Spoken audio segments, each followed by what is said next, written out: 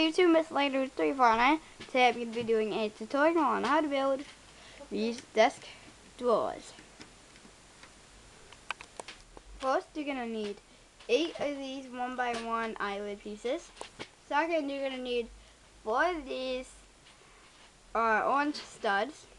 Third, you're going to need 4 of these lightweight jumpers. Next, you're going to need, well, last, you're going to need one 1x4 white.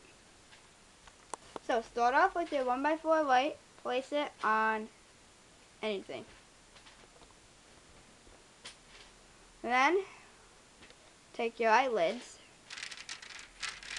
bring them in here, place them like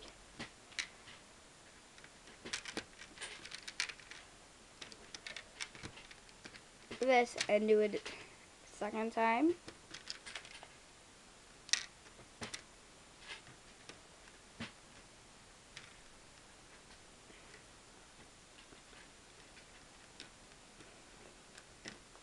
So we get this. Then take all the jumpers, place them on the pieces.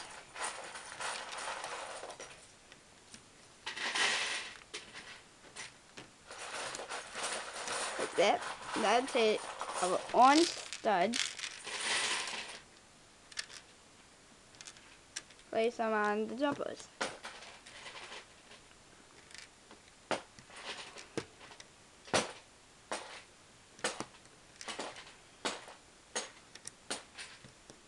There we go. Now, take any base plate. Just gonna use this 6x8 blue. Just place it on it. And there you have a desk drawer.